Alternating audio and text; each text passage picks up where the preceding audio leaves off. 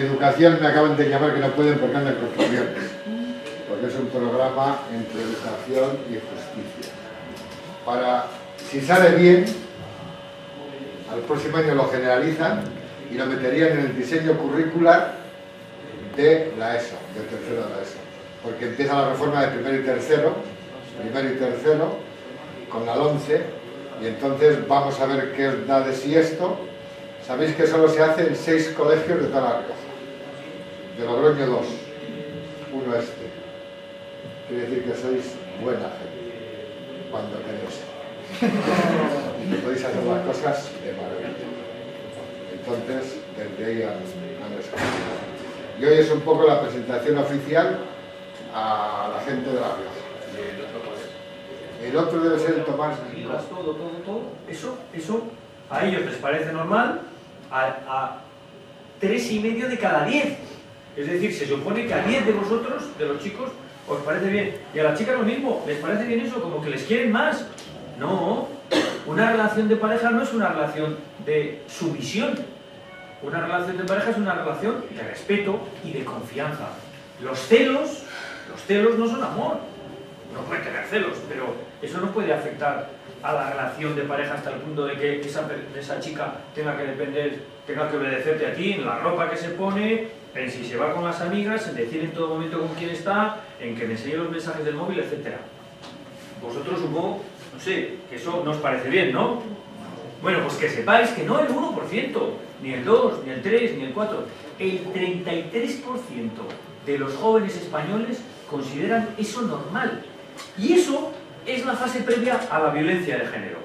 Porque si esta chica está sometida a mí, por tanto le puedo pegar. Antes de la violencia de género, ¿qué es lo que hay?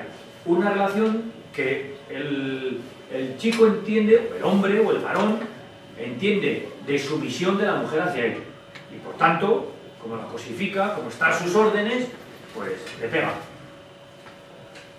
Y si queremos evitar la violencia de género entre los adultos, tenemos que trabajar en los valores de respeto entre los jóvenes. Y me encanta pensar, eh, saber que vosotros todos estáis en contra de eso, porque esto es de lo que se va a hablar en esta experiencia piloto, y como digo, luego vosotros tenéis que preparar esos materiales también, ¿eh? vais a tener que trabajar. Y ese trabajo va a servir para el resto de chavales en la reja. Así quiero agradeceros que colaboréis en esto, quiero agradecer al centro también, que colaboren en esto y en tantas cosas. Creo que Los Bosques es un centro pionero y tenéis todo lo de, tenemos ¿no? lo de formación profesional, bilingüe, dual. Gracias. Muchas gracias. Agradecerle la visita, señor. Gracias. Gracias. Gracias. gracias a vosotros y estudiar mucho, ¿eh? Estudiar mucho es fundamental. Para estudiar mucho, ¿qué hay que hacer? Uno, hacer caso a los profesores. Dos, meter horas en casa también. A nadie se le aparece Platón, ni Aristóteles. ¿Lo habéis estudiado, Platón y Aristóteles? No se le va a aparecer ni Platón ni Aristóteles para meterle en la cabeza la filosofía, ¿eh? Ni Newton nos va a meter en la cabeza eh, las matemáticas. ¿Cómo se aprenden las cosas? Metiendo horas, metiendo horas. ¿Sabéis cuántas horas entrenan los jugadores del Real Madrid? Solo así saldréis a ver. ¿De acuerdo? Si me veis por la calle me decís, oye, menudo rollo nos metisteis en Pero me saludáis, porque no vamos a hablar de todos. Vale, pues hemos dejado las tarjetas, ¿no? Sí, sí, sí. Vale. De, de clase identificamos ya problemas, ¿verdad? Este, este programa nos está ayudando a ello. Y algunos de vosotros levantabais la mano en ese sentido y decíais, bueno, pues yo ya eh, me he dado cuenta que quizás esto, que lo tenía pues más normalizado o era algo cotidiano dentro de mis relaciones, ya al menos tengo que prestar atención porque si es un problema tendré que eh, solucionarlo o poner remedio. ¿no? Eh, ¿Alguien nos apetece compartir un poquito qué experiencias habéis tenido o en qué sentido os está ayudando ya ese, este programa?